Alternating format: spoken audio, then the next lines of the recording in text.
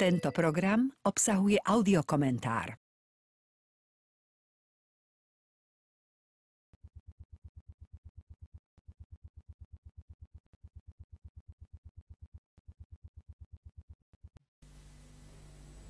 No tak vidíš, tu bývam. Nie je to ako u vás doma, alebo u nás, keď sme ešte boli spolu. Ocko, prečo mám teraz iného ocka? Som ti to vysvetlil.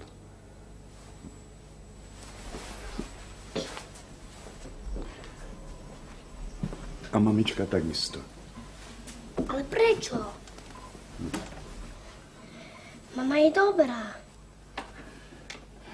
Ty nás máš rád. Tak prečo je u nás ten druhý ocko? To by si nepochopil. No ale veď sa stretávame a budeme sa stretávať. A mamička ťa má rada, je k tebe dobrá.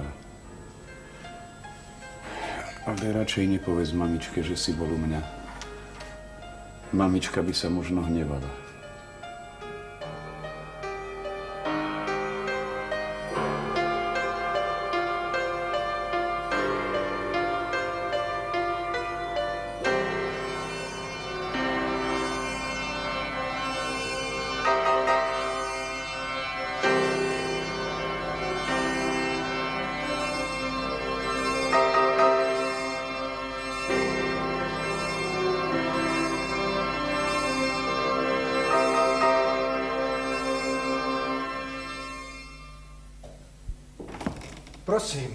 Poďte ďalej. Čakali sme vás už na obed. Telefonovali nám, že ste odišli hneď ráno. Mali sme defexu, riaditeľ, vodná pumpa. 4 hodiny sme to opravovali na ceste. Posadajte si. Hm, ďakujeme. Žena vám niečo pripravila pod zupu. Ó, Ešte išla po pivo. hm, to ste si nemali robiť také starosti. Mohli sme sa niekde zastaviť na guláš. Viete, ponáhľame sa domov. V noci sme sa vrátili z Plzňa, ale keď nám povedali, že tie hlavice do vašej novej školy tak súrne potrebujete, no tak sme... Naozaj, aby som nezabudol, mám tu pre vás odkaz. Akýsi Vranka, má to byť váš dispečér, vám odkazuje, že máte pokračovať do Michaloviec a v ZTS naložiť nejaké motory. S nimi máte ísť do Ostravy. V tých Michalovciach ste mali byť najneskôr do 15. hodiny. Už je pomaly 6. Sadnite si, zajedzte a trochu vypite. Teraz tam už aj tak nikoho nestihnete. Žena vám pripraví postele a potom sa uložíte. Prespíte a ráno zavčasu čerstvým môžete vyraziť. Nech sa páči. Prepáčte, idem prepočítať tie lavice.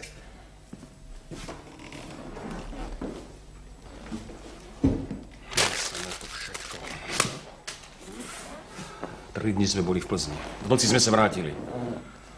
Ani domov som sa nedostal, spali sme na ubytovni. Potom sme sa ťahali s tými ponadiatými lavicami a teraz z Michalovce, od Strava, to vie všetko čo. Takže dnes sa kedy dostanem. Šlagavi to. Čo ty na to, profesor? Hm. Počuj, profesor, s tebou je ale zábava. Slovka nepovieš, našinca nepobavíš, sedíš vedľa mňa v aute a ťa rozvážam po svete. Ja mám mozole od volantu a ty si iba knihy čítaš.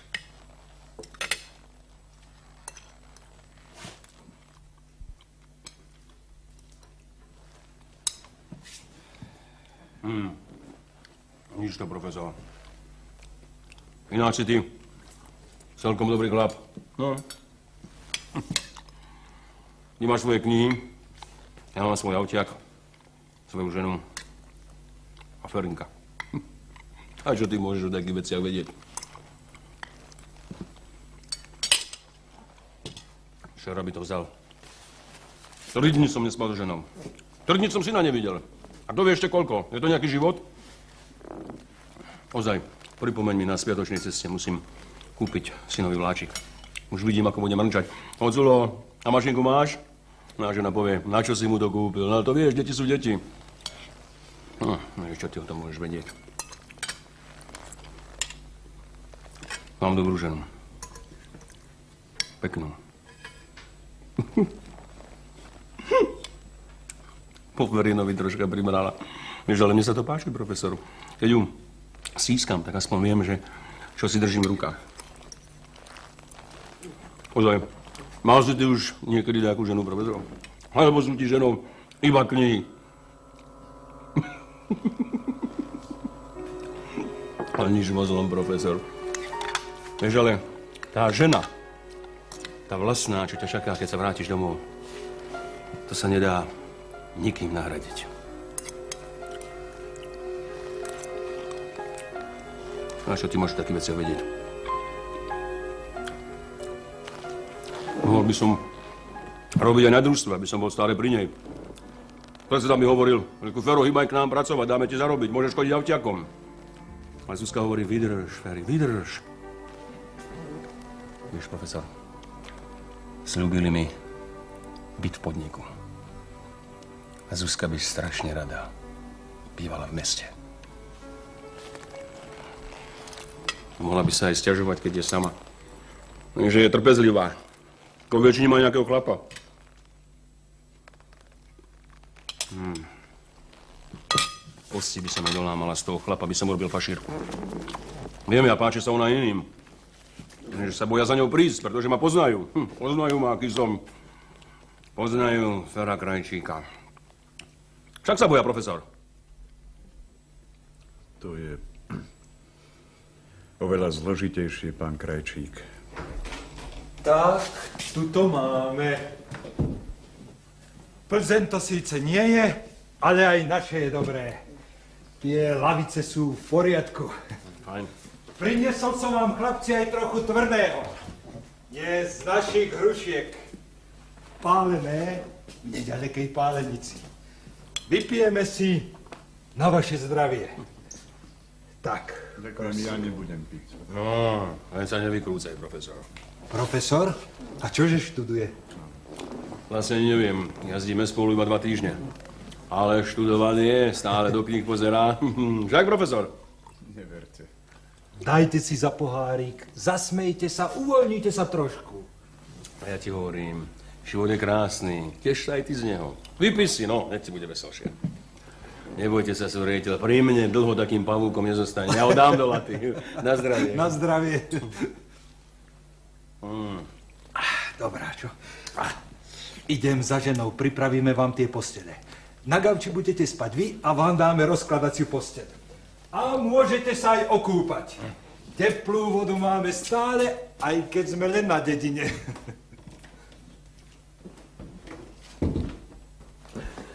Vidíš, profesor, taký je život. No dopinaliem ti. Eh, tri dni som nespal so ženou. A mám dobrú ženu, veľmi. Iba svokor je pluhák. Stále má čosi proti mne. Hm. Lenže Zuzka stojí pri mne. Otec mi ju nechcel dať, ale ona povedala, Apo, ujdem, ak nechcete Fera. Často ma utešovala, neboj sa, Ferinko, ak ťa vyženie, pôjdem s tebou. Neraz sme boli už aj pobalení, ale starý nakoniec vždy zmekol, lenže dodnes, dodnes mi to neodpustil. Profesor, nedal by som svoju ženu za nič na svete. Aj do ohňa by som pre skočil. Je to krásny pocit, keď ti prejde svojou rukou po tvári, po vlasoch. Cítim sa ako v siedmom nebi. Pradiem ako mačka hovorí môj. Už ti tak niekto povedal, profesor. Hovorila ti už nejaká žena môj? Cez okno vždy vyzerá, keď sa vraciam domov. Verina drží na rukách a hovorí, pozri, kto nám prišiel. Polsko sa nám vrátil. Ja ich zoberiem do náručia, stískam. A žena kričí, preboha, Ferko, pusť, veď ma zadusíš. Malý sa rozplače a hovorí, nechaj mamu, ty zlý oco. A žena povie, tak nesmieš hovoriť, synáčik náš zlatý.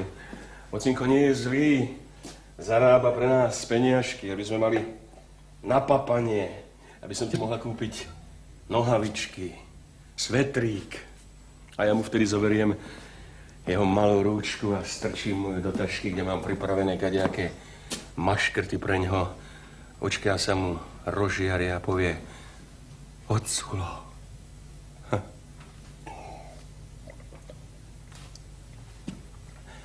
Vieš, aký je to pocit? Nevieš, lebo si to nikdy nezažil. Keď som bol na vojenčine, písali sme si listy. Hm. Dva dni som písal jeden list. Ale Zuzke sa páči. Hovorí, že najkrajšie na svete sú pre ňu moje listy. Má ich všetky odložené a previazané stužkou. Vidíš, profesor, teraz som každú chvíľu preč a už dávno som jej tú radosť neurobil. Už dávno som jej nenapísal ani jeden jediný riadok.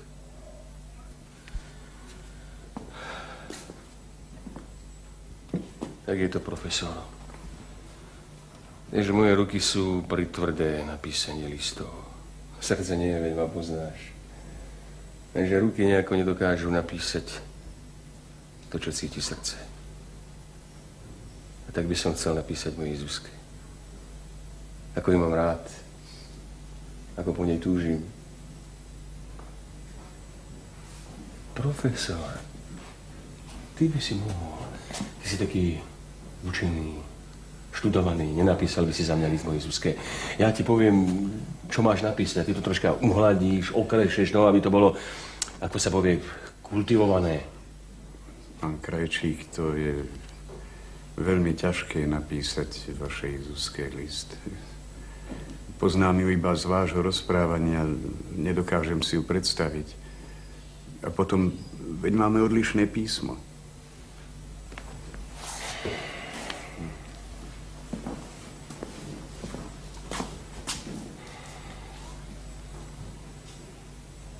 Profesor, a na stroji vieš písať? Viem. Tak jej napíš list na tomto stroji? Ale pán Krajčík... Prosím ťa, profesor, napíš, poď, ja ti budem diktovať a ty napíšeš, čo ti poviem. No, sadni pekne. Tak, napíš, drahá, drahá Zuzka. Nie, nie, nie, to musí byť krajšie. Milovaná, milovaná moja žena. Mám ťa, mám ťa veľmi rád. Čo asi robíš? Už asi spíš. Dala si spať aj nášho malého Ferinka. A sama si zaspala na našej posteli. Nie, nie, nie, nie, to tam nepíš, to nie je dobré. Nie, to nepíš, vieš, mal by si dať tomu nejaký taký, taký pekný úvod. Napíš to podľa svojho. Ešte by som vedel povedať všetko, čo cítim, ale keď to mám povedať je, alebo napísať, tak ako si nemôžem. Profesor, prosím Vieš, čo myslím? No, napíš. Ja zatiaľ skontrolujem auto, či je zamknuté. Napíš.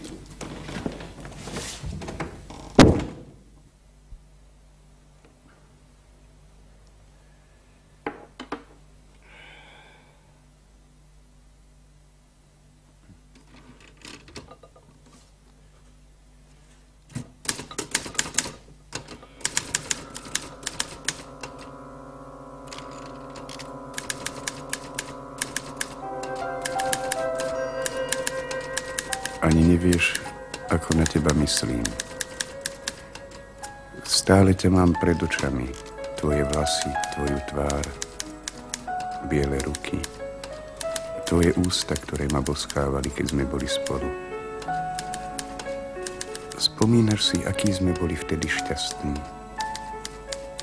Končila si školu a my sme boli plní nadšenia. Narodil sa nám syn, náš Milánko, pamätáš sa? Narodil sa 6 mesiacov po svadbe. Ľudia nás ohovárali, ale my sme boli takí bezstarostní ako vtáčenci. Mali sme iba jednu izbu, tam sme spávali, varili, prali plienky a celkom nám to stačilo. Pamätáš sa, žena moja, keď sme sa budili v noci na Milankov plač? Bolelo ho brúško, ty si plakala nad ním a ja som behal po izbe a nevedel som, čo robiť. Žilo sa nám spočiatku ťažko. Robila si štátnice, pomáhal som ti pri písaní diplomovej práce, zbieral som podklady. Nakoniec som ju prepísal na stroji, nemali sme peniaze na pisárku. Dokonca dvakrát som ju prepísal, lebo sa najprv nepáčila tvojmu docentovi. Ale predsa sme tú tvoju školu šťastne skončili. Aj väčší byt nám rok dali. Ty si začala byť úspešná v práci ambiciozna. Všetci mi to závideli. Dohovárali mi, aby som si tiež spravil vysokú školu. Ale ty si ma bránila, že na čo? Vraj viem toho viac ako tí, čo majú tri univerzity. Veru pekne sme si žili. Ľudia k nám radi chodili. A vravievali, aha, pozrite sa na nich, žijú už toľko spolu a pekne. Žena moja drahá, také to bolo krásne všetky ročné obdobia. Deň i noc. Každá chvíľa. Myslieval som na teba, keď som sa vracal z práce. Ty si už bývala doma, prichádzala si skôr kvôli Milankovi. Občas som ho jabrával zo škôlky. Žili sme tak šťastne, moja. Tak šťastne, ako hádam nik na celom svete. A odrazu som stratil tvoju lásku. Všetko sa začalo nečakane na mňa váľať. Robil som chyby. Hoci dodnes neviem, čo som vlastne spravil. Zrazu si začala myslieť iba na seba, na svoje šťastie. Začala si ma zrazu ani neviem prečo nenávidieť. Veľmi nenávidieť. Oddelila si si postel, spávala si s Milankom a ja som nemohol cez noc oka zažmúriť, lebo som myslel na teba, na tvoje jemné telo, okrúhle prsia a voňavé vlasy. Celé noci som nemohol spávať. Ako dlho to trvalo? Rok? Dva? A zrazu si začala kvitnúť, spievala si si, smiala si sa. Ako vtedy, keď si bola do mňa zalúbená. Milá, povedz, prečo sa to všetko stalo? Prečo sa to muselo stať? Prečo si ma opustila? Si preč? Si kde si inde šťastná, náš syn inému, vraví ocko. Aj minule mi povedal, aj s tým druhým ockom som bol na výlete. Vieš, ako mi bolo? A predsa som sa premohol a nezačal som ho presviečať. To nie je tvoj ocko. Ja som tvoj ocko, tvoj ozajstný ocko. Len som sa obrátil, aby nezbadal, že tak čo? Už to máš? Ukáž. Ukáž. Moja milovaná, píšem ti list. Môj šofer, pán Krajčík, dobrý človek, čestný, už dávno som nestratol lepšieho. Si myslel, že tento list píšem jeho žene. Chcel som, lebo ma prosil, aby som ho za neho napísal. Ale či sa dá takto klamať? Musel by som klamať seba i jeho ženu. Aj tak viem, že ti ten list nepošlem, ale musel som ho napísať. Veď každý potrebuje lásku, sníva o nej. Darmo sa bude pretvarovať, že o ňu nestojí. I ja sa márne skrývam do kníh a za sklá okuliarov. Nie som nejaký profesor, ako ma volajú v mojom terajšom zamestnaní. Som taký istý človek ako pán Krajčík.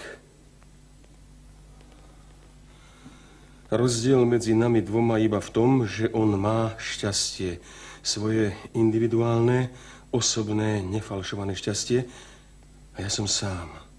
Preto sa snažím skrývať pred ľuďmi smútok, svoju osamelosť. Preto tebe píšem tento list.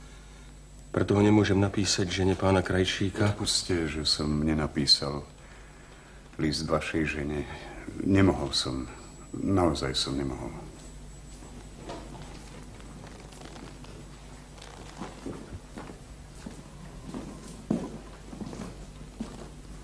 Si dobrý človek, profesor. Ale tak to ďalej nesmieš. Zničil by si sa. Potom si ešte mladý chlap. Keď sa vrátime z cesty, zavediem ťa k nám, spoznáš moju Zuzku, moju Ferinka a uvidíš, že... Nedá sa len tak zabudnúť, čo bolo. Možno, niekedy.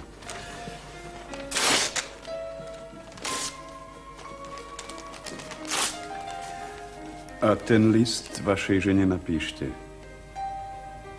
Nikto by ho nenapísal tak pekne ako vy sám, pán Krajčík.